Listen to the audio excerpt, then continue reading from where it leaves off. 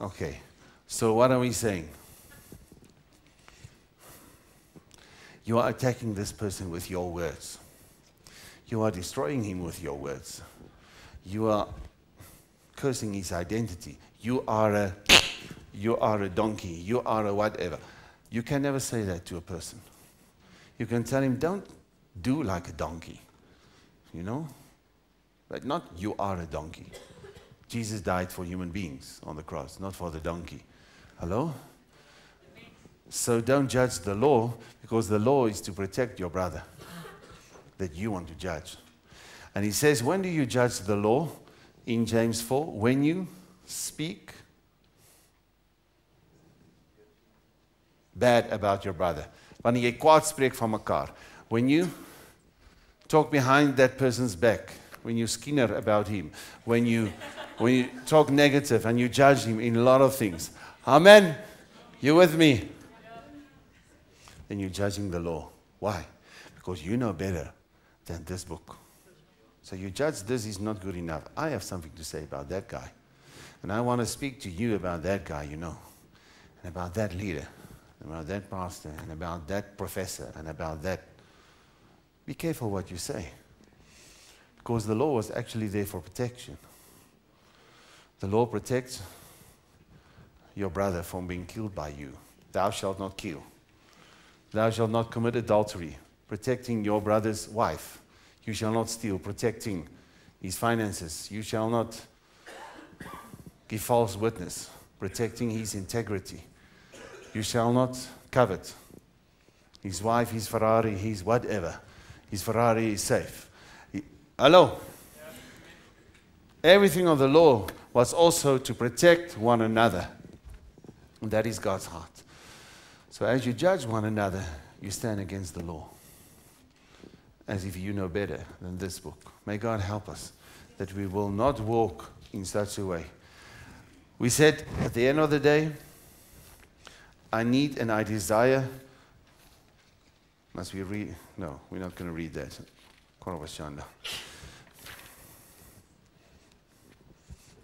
Just this one Isaiah 26. Isaiah 26.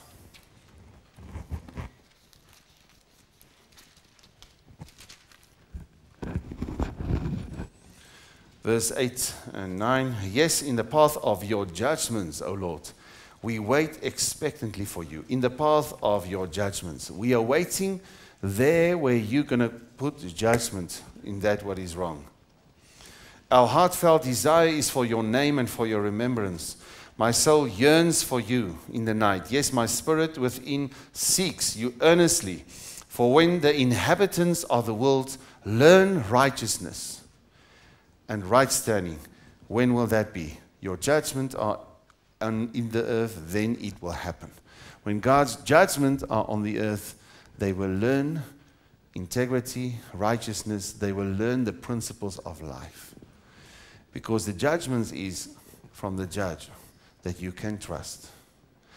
I feel safe with God as the judge. I don't feel safe when I am the judge or my flesh or my opinion or some other person with the so called authority.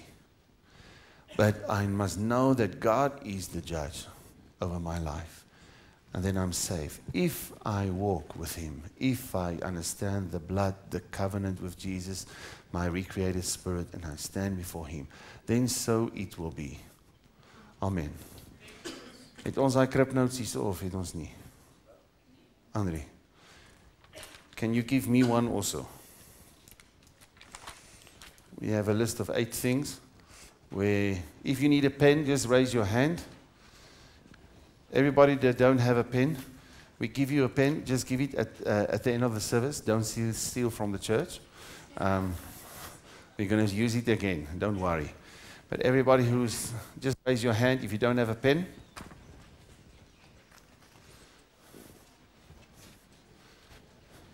Get a paper, and we're going to vote for a new pastor.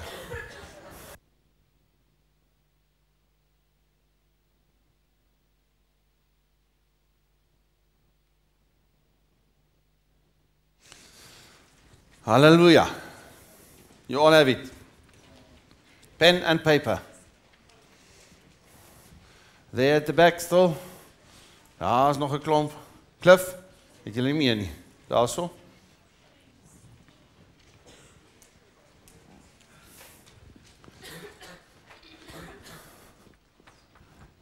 All the students that doesn't have that don't have pens, you have 10 hours. You're supposed to write down. Hallelujah. Goed. Dis was die guys also stressed now. okay, make a list of your sins. Two each. At every point. Keith, net somebody. Ons het nie soveel tyd vir jou nie. Okay. Point number 1. This morning there was people actually starting to write when I said it. I said, "Whoa."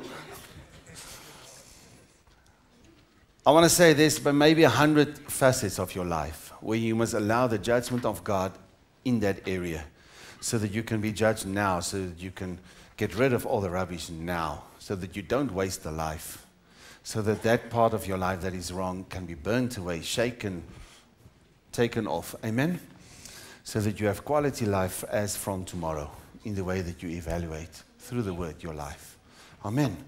The first facet is your perspective. You can write there your revelation. And that we find in Matthew 7.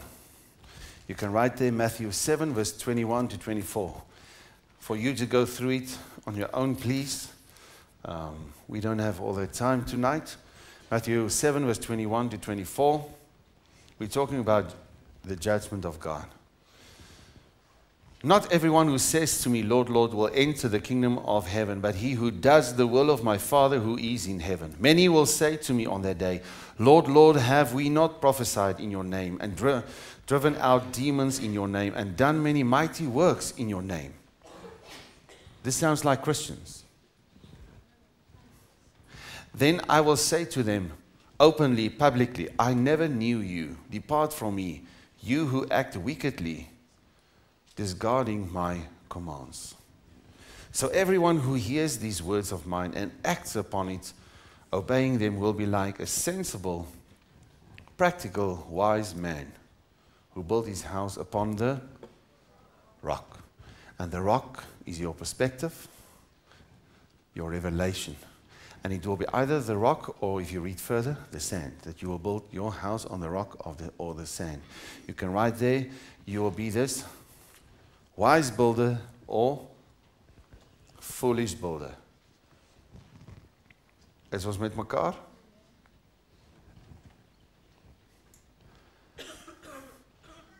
And everyone who hears these words of mine and does not do them will be like a stupid, foolish man.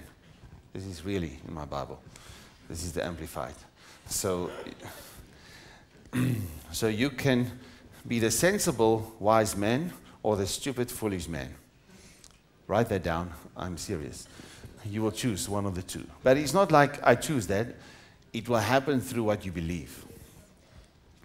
And the, and the key word for this first point is obedience. The key word is will be obedience. And you will be what's the two words? You will be a wise, practical, sensible man. Or you will be a stupid, foolish man. Just say that. Okay. Will you not be? Hopefully. How will you know the difference? When you understand how to hear and obey. Hear and obey. Hear and obey. Because now, yes, it's very sensible. Lord, I will hear what you say and I will just obey it. We have been out with the boat and the nets trying to catch fish for the whole night, 12 hours long, and we come back and the Lord says unto thee, Go back and just throw the net on the other side of the boat. Now that sounds very logical because all the fish always swims at the right side of the boat, never on the left side. Hello? Uh. But who's the wise man that will say, like Peter said, Lord, this is the facts. We tried the whole night, nothing happened. But just based on your word, we will go again. And they caught all that fish that night. Absolutely stupid to the logic. Hello?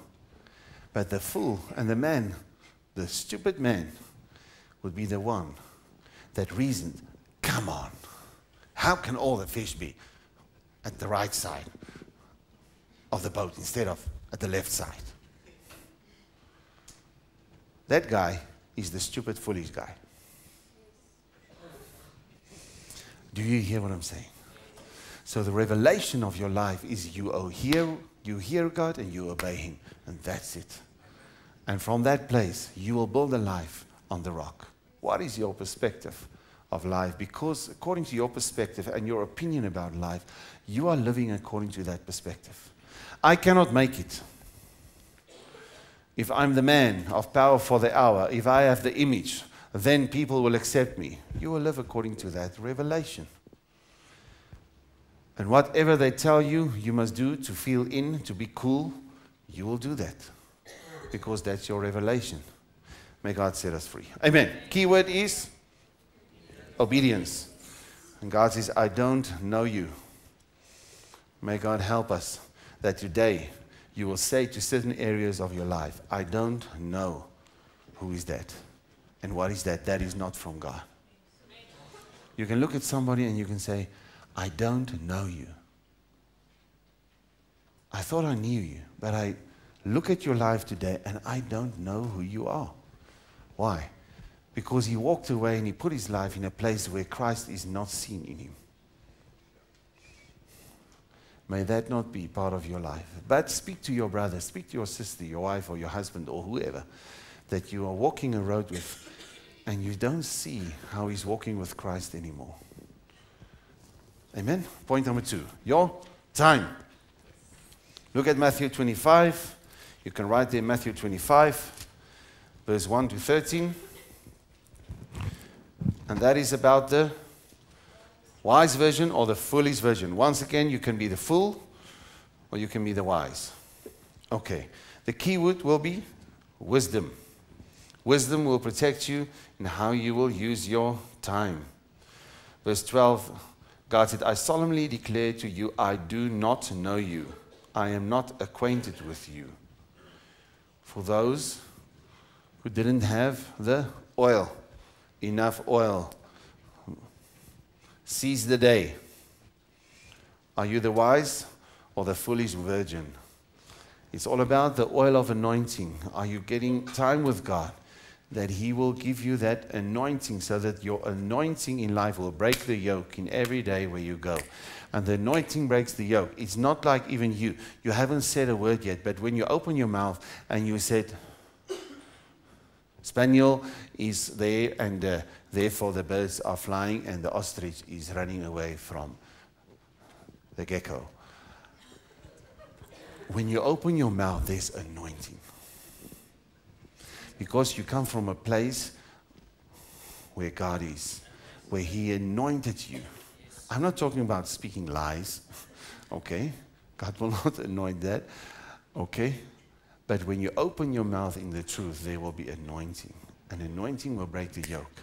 And many times we are fighting against the yokes and nothing is happening and we are tired of life because we are not wise virgins spending time with God to get that extra oil that will break the yokes in our lives that, that is not from Him. That is point number two. And the key word is point number three your resources, your money.